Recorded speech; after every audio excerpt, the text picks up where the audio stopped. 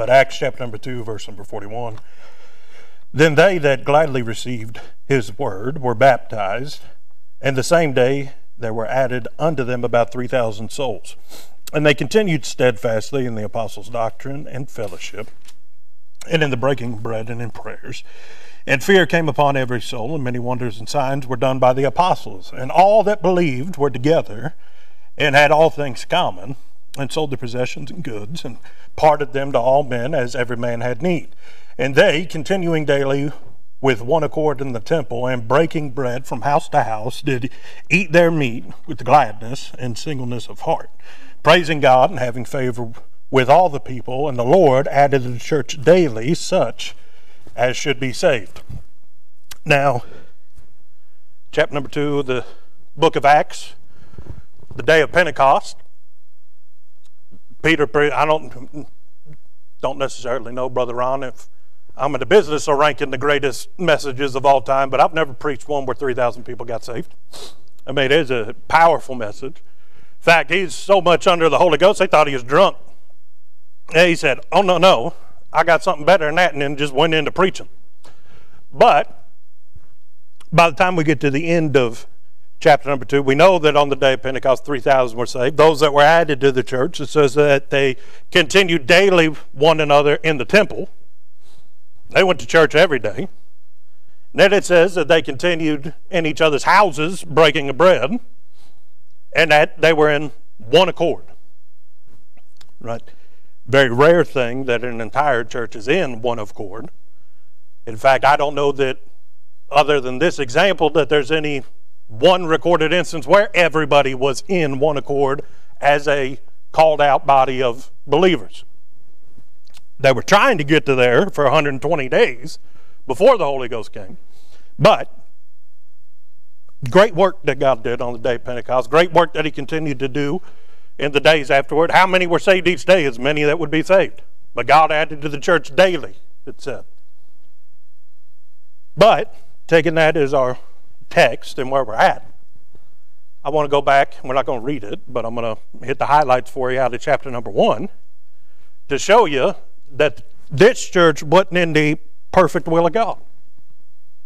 But yet God still did a great work. Where were they? They were in the permissible will of God. They weren't in the perfect will of God. And then, based off of that, what we're going to teach on today are the dangers of being in the permissible will of God. Now, if we go back to chapter number one, we know first we get the account of the Lord giving the Great Commission. He's taken back up into heaven. Then the 120, that's where we get the number of 120 souls that were with him. We find that in chapter number one. We're in the upper room, gathered together. That names all the apostles. And then it says that they were praying, they were waiting on the Holy Ghost to come. Then, verse number 15 of chapter number 1, Peter stood up in the midst of the disciples and said, the number of the names together were about 120. Men and brethren, the scriptures must needs have been fulfilled. And then he goes to talk about how Judas betraying the Lord, that his bishopship should be taken away. Because there was one of them that was of them. And then he goes and talks about how David prophesied that that would be the case. Then he goes on to talk about that uh, the field of blood that he had purchased with the 30 pieces of silver, and how, according to God's prophecy, that no man would ever live there because it was a cursed ground. But then they go on to say, you know what? We know that there needs to be 12. So let's pick a 12th. And they laid out some great qualifications. They said, first, they got to be there from when Jesus was baptized with John the Baptist all the way up until when Jesus was taken back up into, you know, glory, but specifically on the night that he was taken into custody. They said, he's got to be with us from then. Got to be witness to everything. And they actually found two of them. Both of them, they said, good. men. I mean, consider it. We like to think, when we read the Bible, that there's only 12 people with Jesus, and those were the disciples. No, there's a great many people that went with him everywhere. Fact, we know that at least there were 14 people that were with him from the time that he got baptized all the way up until when he was taken custody. Because that's what Peter said the qualifications of these two men were. And that's not counting women. No telling how many of them there were.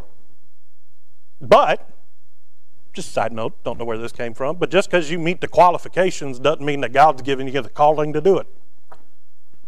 That doesn't matter if it's a pastor, doesn't matter if it's a deacon, doesn't matter if it's a Sunday school. You can have all the qualifications in the world, but unless God puts his hand on you, it ain't going to amount to anything. But anyway, you find that they cast lots. That's always a real biblical thing to do, isn't it, Brother JD? Let's just gamble on who it needs to be. We'll just leave this to chance. Now, don't look down on them. Holy Ghost hadn't come yet. But was the duties of the Holy Ghost? Well, he was supposed to lead and guide us into all truth. Right now, there's a whole other lesson on when you think that you can see, but you don't have a guide. Okay, they thought that they were doing the right thing, but they didn't wait on God to come up and show them how to do it. But we find a man of the name Matthias. I'm going to call him Matt. Matt, Matt, good guy. Matt saved on his way to heaven. Matt had been with the Lord. He was faithful. There's just one problem. Matt wasn't the Apostle Paul because that's the one that God picked. Granted, Paul hadn't even been saved yet. But yet God knew who the apostle to the Gentiles was going to be. They got the cart in front of the horse. So on the day of Pentecost, they had an apostle that God didn't want, but yet God still saved 3,000 people. It says that they were all in one accord. That means that everybody gathered agreed that Matt was the new apostle, which means everybody wasn't in the will of God. But yet God still showed up and saved 3,000 people and then afterwards was adding to the church daily. It was Peter's idea to name this new apostle, but yet God used him to preach the message on the day of Pentecost. What he said, they weren't in the perfect will of God, Brother Ron, but they were in the permissible will of God. God winked at their ignorance and the fact that, yep, you can pick whoever you want, but I got one lined up. But We've heard it mentioned a lot around here. Jesus said that John the Baptist was the greatest man ever born of woman, but outside of him, the Apostle Paul's a pretty good candidate. He only wrote nearly half of your New Testament. Some of the verses that give us such encouragement, some of the promises that are given to us from the Word of God were written by his hand as he was the instrument of the Holy Ghost. He was used greatly. In fact, his mission trips, he went to every part of the known world at that time. But it's not the one that the apostles would have picked. Who'd they pick? They picked Matthias. Who'd they pick? They picked somebody that they knew, somebody that they were comfortable with, somebody that they were familiar with, something that made sense to them. But God uses the base things that confound the wise. His ways are above our, His ways are done in a way that only God could have done it. But how do you know that God couldn't made Matthias an apostle? Because the apostles made him an apostle. God took one that used to be an enemy, but yet made him a crusader for God. So he's saying, Brother Jordan, day of Pentecost, unbeknownst to them, they weren't in the will of God. But yet God still showed up and did something mighty. In fact, Peter got up and preached, probably in Greek, because that was the common language at the time. But even if he'd have preached in Hebrew, it didn't matter, because everybody in attendance heard in their native language. That's the miracle of speaking in tongues, that I can speak hillbilly and you hear it however it is that you need to hear it. Right? But JD can preach whatever Brother JD talks. There ain't nobody talk like him. But yet, if you'd have dropped him in the middle of Africa, everybody would have understood it in their own language. That was the speaking of tongues. Right? But, even after this, I mean, I hope that just briefly shows you that they weren't in the will of God perfectly. They's in the will of God. They's all gathered together. They's in one accord. They were continuing daily, right, and learning from the apostles. Then they continued in the doctrine of the apostles. But because the church was in the permissible will of God and they weren't striving to be in the perfect will of God, caused some problems. And that's the danger of being in the permissible will of God. God's able to wink at our ignorance. God's able to show us grace and mercy. If you're in the permissible will of God, God can do, still do great things, but it's in spite of us. Even if you're in the perfect will of God, God does for us what you can't do for yourself. It's only by the grace of God that you're able to stay in the perfect will of God. But yet the church was in the, God's doing great things, and they became complacent. They never strove to be in the perfect will of God. They got comfortable with God doing great things and just believing that God would always do great things. But see, God had given them some commandments, God had given them some instructions. And the apostles, first and foremost, weren't above rebuke. Let me give you an example. You can go back, read what Peter preached on the day of Pentecost. Okay? Go back and read it. And you're going to find that he preaches about how the gospel is open to all, both those that are near and those that are far off. Right? Because it hadn't been written yet, but whosoever can become a part of the family of God. Right? Anybody. That's what he's preaching on the day of Pentecost. And he's preaching it to people that don't speak the you know the language of the day. What's that tell me? There's probably some in there that weren't Jews. Right? He's preaching to Gentiles on the day of Pentecost, but yet later on down the line, you find that Peter gets a little bit of Pharisee in him. In fact, the Apostle Paul had to come back and rebuke him to the face, as he later writes. And God, at one point, had to rebuke him himself. There were two issues, both of them having to do with Gentiles. First one, we'll start where God rebuked him. God told him to go down and witness to a fella. And Peter said, Not so, Lord, that guy's a Gentile. If he goes down there, I'm going to have to eat stuff that's not clean. If I go down there, it's going to make me not right with you. Can you imagine arguing with God, telling God that what God asked you to do was outside of the will of God? But yet, it's what Peter's trying to do. It's still young Peter. This isn't wise Peter by the time we get to 1st and 2nd Peter. This isn't Peter after God had knocked all the sharp edges off. This is still hot headed Peter. Peter says, Lord, I can't go down there. I'll be unclean. God had to smack him upside the back of the head and said, If I told you to go down there, it's not going to make you unclean. God had to send him the vision of the fleece coming down with all manner of food. What Peter learned, as long as you give God thanks for whatever it is that's put in front of you, it's not going to defile you. But the Bible says it this way it's not what goes into a man that defiles him, it's what's already inside of a man that will defile the outside. Right? But Peter's still hanging on to some of them old time ways. More so than that, he's telling Gentiles. Well, I don't think he came up with the idea. I think he just said that, hey, that sounds like that's, that makes sense. That's the problem. When you do things that make sense, they're usually against the will of God. Because God's ways don't make sense to the carnal man. Because the carnal man cannot know the ways of God, they're foreign to him. In fact, your flesh is at enmity with God, it's the enemy of God. God understands your flesh because Christ was robed in flesh and conquered the flesh as your example, that through him you can conquer not only everything in this flesh, but everything in the world. Because greater is he that's in you than he that's in the world. But Peter at some point hears, and he wasn't the only one, there's a bunch of them but they got in their head, well, if you're a Gentile and you get saved, you got to be circumcised. Well, see, when, Peter, when Peter preached on the day of Pentecost, he said that if you believe and then are baptized.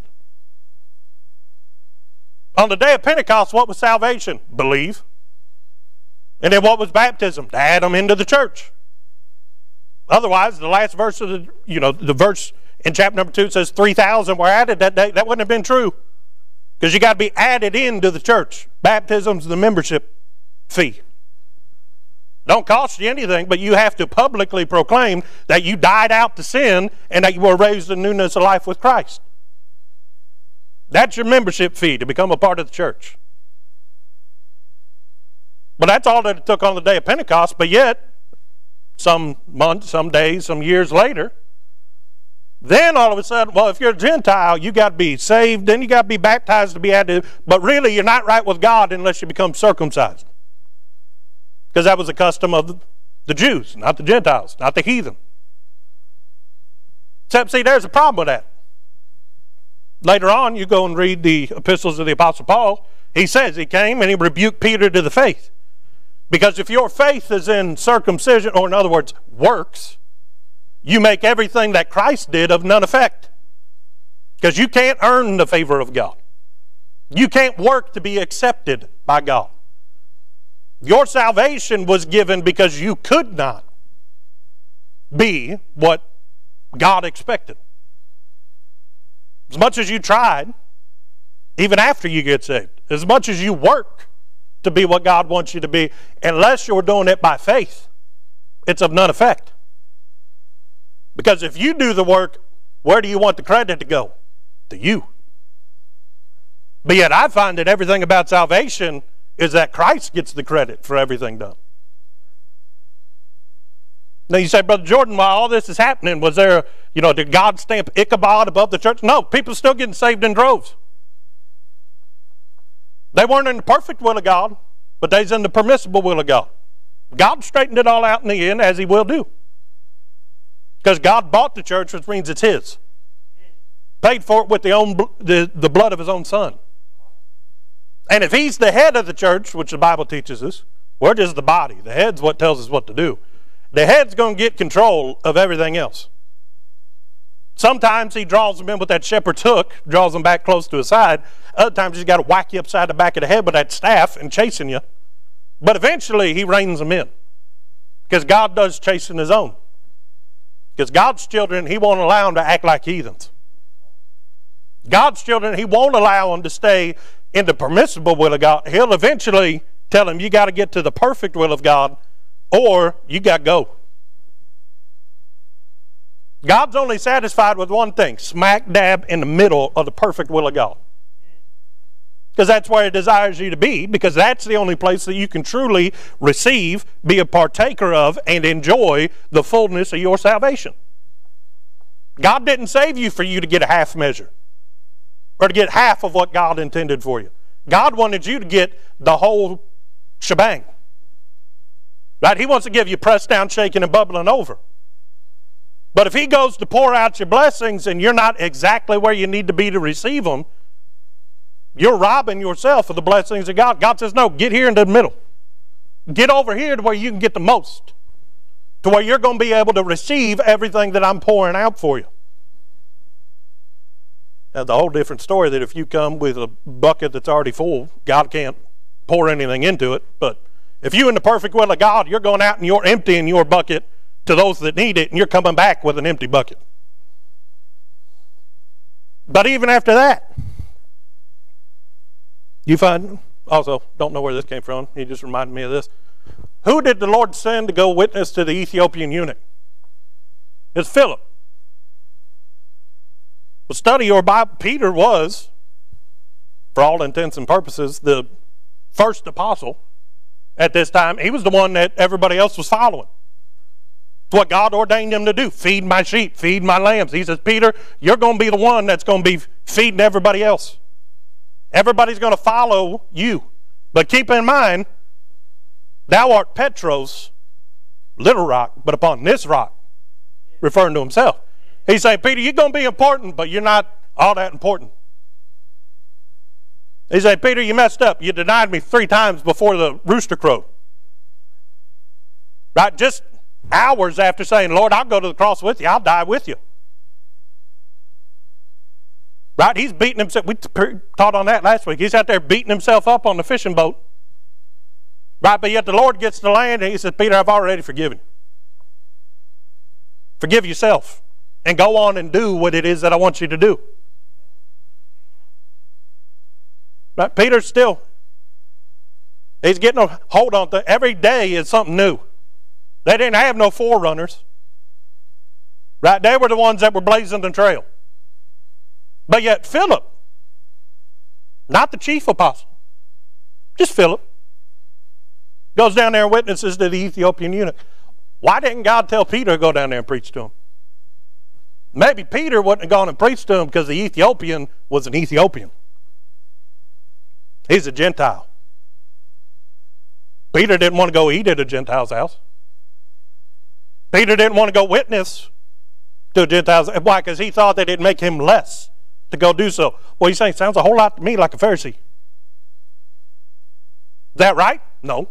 God straightened it out in the end. In fact, go read First and Second Peter. Who's he writing the books to? Those that are scattered abroad. Those that he had never in the flesh met, but those that God had saved. Sounds a whole lot like Gentiles to me. What happened? God did a work in his heart. Eventually, Peter got right with God. He was in the permissible will of God, but eventually he got to the point where he was in the perfect will of God. But it caused some problems. Then later on, granted, it says that at one point they was all in one mind and one accord. That didn't last long either. Because you got some that are saying, well, you got to be circumcised, and others saying, that don't sound like what Jesus said. Then you got a whole bunch of other crowds saying, well, who's right and who's wrong, and they're arguing amongst themselves. But yet, God still adds to the church. Church still grows. Church gets to the point that depending on who you read and who you ask, there's going to be a whole bunch of different estimates on how big the church was. Church was big. How big was the church? Bigger than this church. A whole lot bigger than this church. So big that 12 apostles couldn't minister to everything that needed to be done for the church, so they had to start appointing deacons. And that's only in chapter 4 of the book of Acts. Right now, we got a preacher God gave us a bishop, as the Bible would call him. Right? He, he gave us a pastor, and pastors got deacons. Pastor has an assistant pastor, because there's a lot going on around here. But if you had 12 preachers and deacons on top of it, and they was still having trouble taking care of all just the business, the day to day of the church as a big church. It's a big job keeping all of them in one mind and in one accord. That's because it wasn't their job, that was the Holy Ghost job. But church gets big, keeps getting bigger, and the people of the church, because of the mindset of being complacent and in the permissible will of God, they started to forget a few things. Well, what they forget? Well, they kind of forgot what Jesus told them right before he went to heaven. Because he said, after that which the Holy Ghost has come upon you, meaning after the day of Pentecost, they didn't know when it was coming at that point. But they said, after the Holy Ghost comes upon you, which is in chapter number two, ye, talking to those in attendance and anybody that was listening. It applied to everybody. Ye still applies to you today. Ye shall be witnesses of me in Jerusalem, that's where they were, Judea, that was around where they were, Samaria, which included the Gentiles, and the uttermost parts of the world. Ye, talking to that group. Who's that? That's at least 120 that were up in the upper room. They at least heard him say that. But where were they? They still in Jerusalem. God permitted it for a time. They were in the permissible will of God, but eventually God said, Y'all being disobedient. You've gotten outside the permissible will of God, and now you're just out of the will of God. Because in the will of God, there's only two things. Either God, you're in the permissible will of God, which means, like all of us, God's working on us to get us closer to the perfect will of God. And then there's the smack dad perfect will of God. You know where you were the day that you got saved? You was in the permissible will of God. Because God permitted it that you had heard the gospel.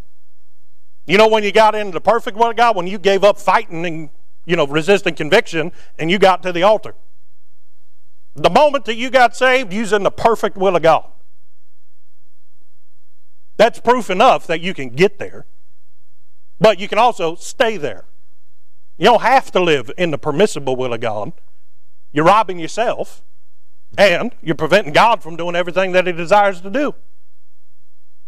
Well, the church, it was permitted for a time that they would grow, that the church at Jerusalem would increase. You can't go out and teach something that you haven't learned.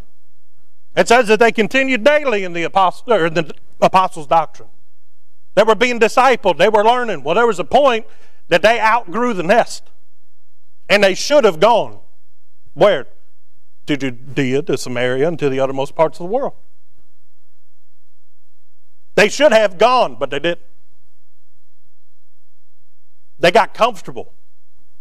They knew the day to day when they were in Jerusalem. They went to the temple every day, and then they met in each other's houses. They broke bread, they fellowshiped, they increased, they was witnessing, they telling anybody that asked them. But God said, There's too many of y'all here. Was it too many because God couldn't support that many in the church? No, it was too many because God wanted them somewhere else. Consider Jonah. You know where it was the perfect will of God for Jonah to be? Nineveh. When God came and talked to him, said, Hey, Jonah, get down there in Nineveh, preach. Tell them God's judgment's coming if they don't repent. He said, Okay. He went in the opposite direction. Everywhere from where Jonah started until he got to the fish was the permissible will of God. God gave him an opportunity to repent, turn around, and go to Nineveh. Until that whale swallowed him, Jonah could have said, You know what, boys? I got to turn the boat around. I got to go the other way. What happened? He got to a point where he was out of the permissible will of God, and then he had he was in the perfect will of God. He's in the belly of a fish. For how long? Three days and three nights. How bad was it? He thought he was in hell. Then he gets puked up on the beach. He doesn't know where he's at, but God knows exactly where he's at. He's in the perfect will of God. What happened? Jonah had to lose control of his life to get back into the perfect will of God. But what happened to the early church? God, not desiring to, he never intended it to be this way, but God had to send persecution. Because they wouldn't leave on their own, so he had to drive them out. There's a herd of sheep, and he set a couple of dogs loose to scatter them. Where did they go? Judea, Samaria, the uttermost parts of the world. You know where they ended up? Exactly where they should have been all along. Why did persecution have to come? Because they got comfortable in the permissible will of God. Were they in the will of God? Yep. But they weren't all the way in. What happened as a result? Persecution. Why did persecution come? Because of their resistance to the pull of the Holy Ghost to go elsewhere. We already read it in our text. It says in verse number 43 Fear came upon every soul, many wonders and signs were done by the apostles. And all that believed were together and had all things common, and sold their possessions and goods, and parted them to all men as every man had need. Sounds to me like they're taking up all them stakes and all them anchors that they had to their life. They sold everything. Nothing left to bind them to Jerusalem other than the fact that that's where they wanted to be. When you got saved, God tell you to sell everything that you had and give it to the church? No. Why? Because it wasn't the will of God. Why did they do it? Because God knew they weren't going to need it. They was going to be headed out soon. God knew, hey, give it to the church. Church is going to take care of you when you're out there in Samaria, in Judea, and the uttermost parts of the world. Go read what the Apostle Paul said that when he had need, God either provided it or he used one of the churches to supply it.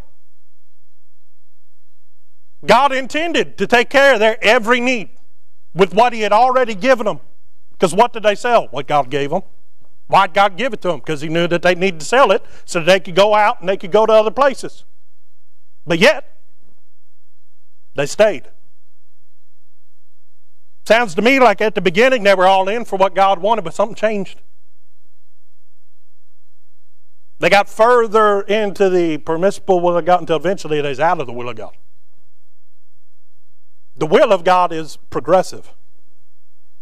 Where God wants you today is not where God wants you tomorrow. He expects you to grow. Sometimes He expects you to go like in this situation.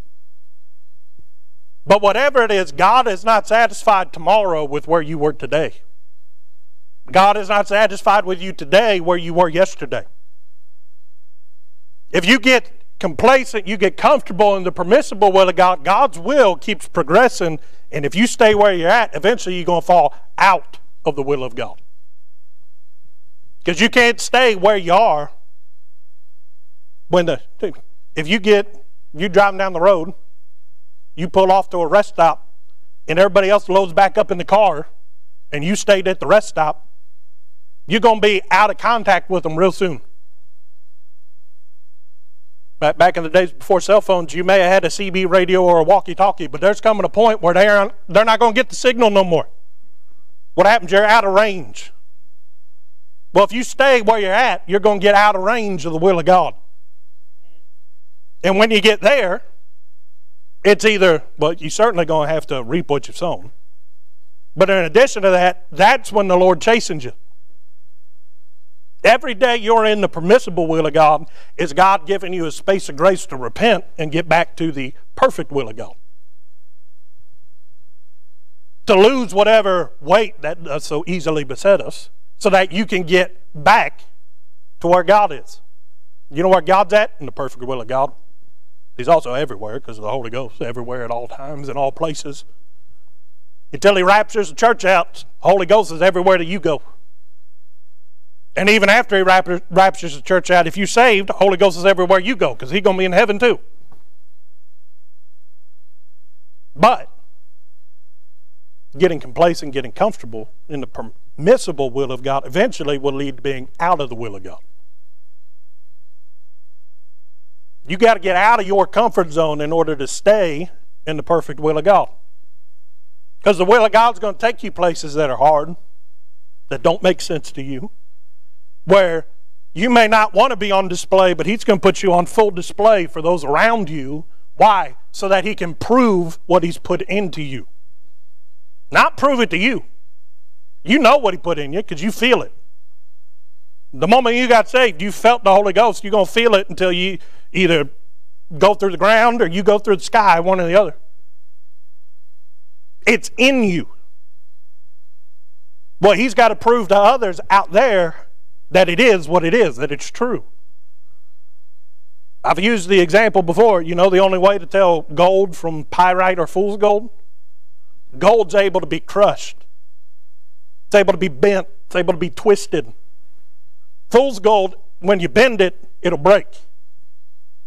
But real gold, you've got to be able to push at it, but it doesn't change what it is. You can shape it, you can twist it, you can do whatever you want to with gold. You know what it still is? It's gold. Don't change the value of it. You know the only way to tell that a diamond is a diamond? Because it'll cut everything else, including other diamonds. Every now and then, God puts you out there as a diamond and says, Take your best shot. It's not going to be enjoyable. They may grind you up against things. They may try to crush you with all the weight of the world, but a diamond stays a diamond. Nothing stronger. Even when you put it up against another diamond, you split it in half, guess what it still is? A diamond. Well, we know this is a diamond. Let's put it up against that. It's coming out a diamond on the other side. Well, you say, well, if you split a diamond, it's not as valuable. Hogwash. God is the mender of broken things. If it's the will of God for you to become broken, He's going to put you back together. If only to show the world that He can do things that they thought impossible. Where's all that happen? In the perfect will of God. I'm sure they knew that leaving their home, Jerusalem, the place that they were born and raised, the place where they had learned everything, it's hard. When God tells you, well, for a little while, you're going to have to go away from the place that you come in and it's your refuge, it's your safe space. This is where you come to get help. All they had ever known was the glorious, you know, fellowship of being in one accord with the brethren. That they could set aside everything else and say, I know where I'm accepted. And he's saying, You got to go to the place that you're not accepted. Why do you think he sent them in pairs most of the time? So that they'd have a person that they could fellowship with. Because he knew where they were going, wasn't going to be no fellowship. There's going to be despised and rejected, and there's going to be rebuked of men. They said, man, that sounds hard. It was hard. Fact, many of your Christian brothers, because of the persecution that came, they were torn asunder. put into the Colosseum. Let wild animals put out onto them. Many of them crucified. But yet, most of them were so insistent that they weren't worthy to be crucified in the same manner as Jesus. Some were crucified upside down or crucified sideways because they said, We don't deserve to be a symbol like he was. Only his cross should have been up and down. Crucify me a different way. Even Philip wasn't crucified, he's stoned to death. But where was he in the perfect will of God? How do you know that? Because he looked up and Jesus standing ready to receive him into glory. I believe he didn't feel a thing. But all that being the dangers of being in the permissible will of God. You know what revival is really good at? Getting people back to the permissible will of God. They repent of things and they get, Lord, I'm sorry, and they get back home. And then, after revival, God's will keeps progressing. But they want to stay where they got during revival. They want to stay where the great meeting was. They want to stay with the great preaching that they heard. They want to stay with the sweet spirit that they experienced all throughout revival and they want to stay there, and God's will keeps moving, and it's not too long, you find yourself outside the will of God again. Revival is to remind us that the sweetest place we can be is the perfect will of God. And you may have been there when you came to an altar, and when you released some things, when you repented of some things, when you asked the Lord to do what He had done before and restore you. But if you're not careful, long, you know, about five seconds after you get up off of an altar, or wherever it was where you did business with God, God's will is already nudging you in this direction and you're resisting to it. Why? Because I'm right where God wanted me to be then. But where does God want you now? You know where God wanted the early church? Abroad. You know where they were? Where God found them. They were content being at the place where they knew God came and got them, but they weren't content being the place where God wanted to send them. If you stayed at the place where God saved you, you wouldn't get very far as a Christian. You'd still be saved on your way to heaven. But if you didn't continue to grow, you didn't continue to go, and if you didn't continue to show what was going on inside of you, you aren't becoming the disciple or the ambassador or the witness that God wanted you to be. Why did God save you? One, because He loved you. And then after He saved you, He let you stay here. He didn't take you on home to glory because He wanted you to go tell others what He did for you. As a member of a church, He fitly framed you together into the body of Christ. That means he's, there's something here that He wants you to do that only you can do. Because when he fitly framed you in, that means that he made it to where only you to fit in that spot. Nobody else could fit in that spot. Nobody else could do what it is that God wants you to do. But if you don't do it, what are you doing? You're resisting the will of God. If you never find out what it is that God wants you to do, there's no way you can be in the perfect will of God. And just because you do it today doesn't mean that you're going to do it tomorrow. Just because you did it yesterday doesn't give you a pass because today is the Lord's day. Just because you know what it is God wants you to do is completely different than actually doing what God wants you to do. It's easy to know things, it's hard to do things.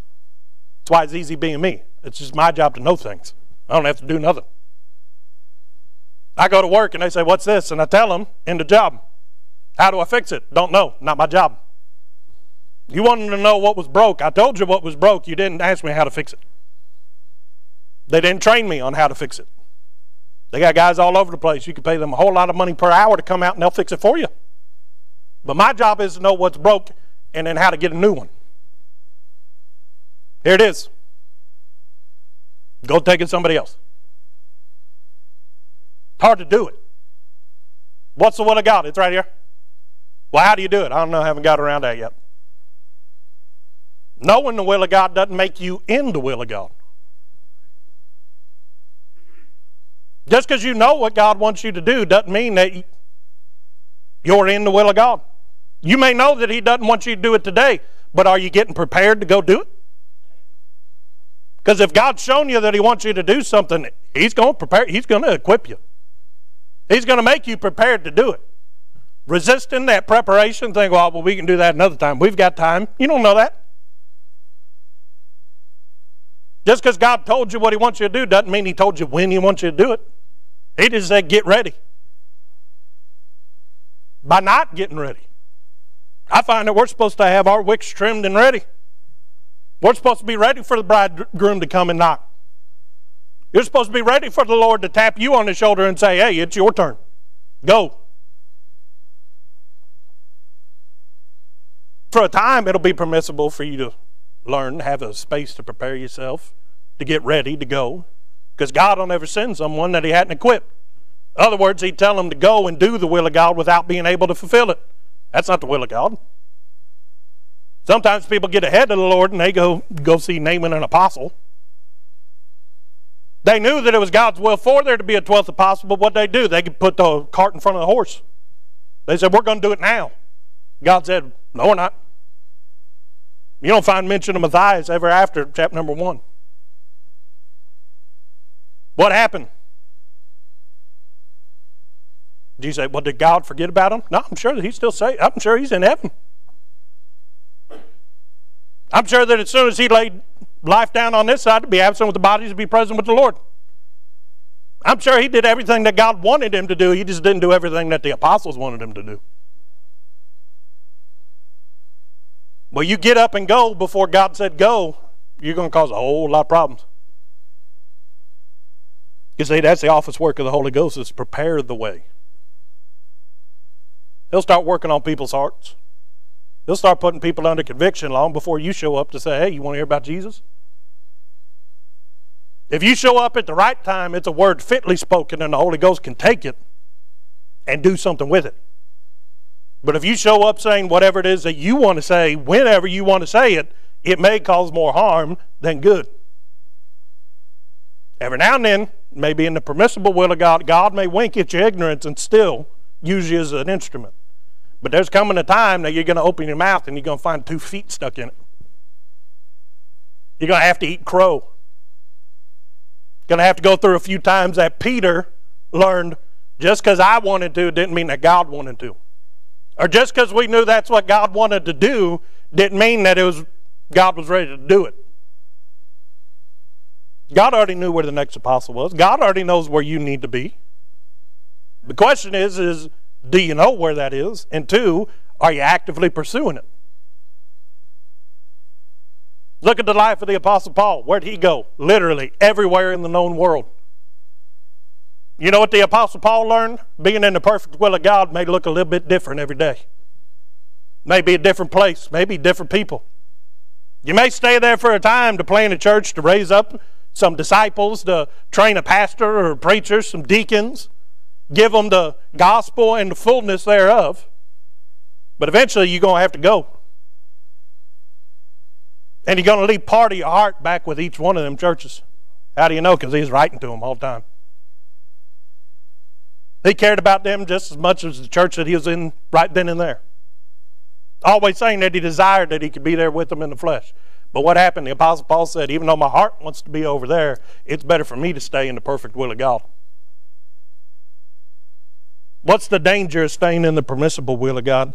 The danger is that inevitably the permissible will of God's going to go and you're going to be left exactly where you were. Because God's always moving forward. The gates of hell shall not prevail against the church of the living God. Why is that? Because the church is always marching forward. But you can choose to stay where you're at, and eventually you're going to find yourself out of the permissible will of God. Thanks to listeners like you, IBC has had over 100,000 views on our YouTube channel. If you haven't already, subscribe today. And as always, thanks for listening.